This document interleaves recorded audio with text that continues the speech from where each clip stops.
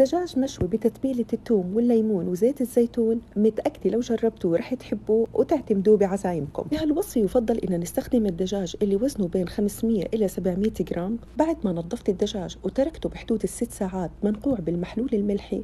نتخلص من الأجزاء الزائدة ومن قص الدجاج فقط من الخلف. خرمته بأداة التخريم وبنبدأ بتجهيز التتبيلة. واللي هي عبارة عن كمية من الثوم المهروس وكمية من زيت الزيتون وعصير الليمون. بنضيف البهارات والملح ومعجون البندورة نخلط المكونات مع بعضها وبنوزعها فوق الدجاج بنوزع التتبيلة على كامل الدجاجة من فوق ومن تحت ولا ننسى بين الجنحان. بنفس صحن التتبيلة رح نحط معجون طماطم وزيت زيتون. ندهن وجه الدجاج فيه وهالخطوة مهمة لحتى يعطينا عند التحمير لون كتير حلو. بترك الدجاج ليلة كاملة منقوع بالتتبيلة أو أقل شيء ست ساعات. وجه الدجاج رح يكون من أسفل لحتى يتنكه بالتتبيلة. وتاني يوم بقلبه على الوجه بغلفه بورق الزبدة والقصدير وبدخله لفرن حميته مسبقا. بعد مرور النص ساعة برفع ورق الزبدة والقصدير وبرجع بدخله الفرن ليكمل استوائه وعند التحمير رح أدهنه بنفس الصوص اللي نزل منه. برجع بدخله الفرن وبتركه يتحمر حسب الدرجة المطلوبة وهلأ صار وقت التقديم قدمت جنب منه رز مع البازاليا وصوص الطحينية وسلطة المشاوي. وعند التقديم لا ننسى ندهن الوجه بالمرقة اللي نزلت من الدجاج. جربوها متأكدة رح تعجبكم.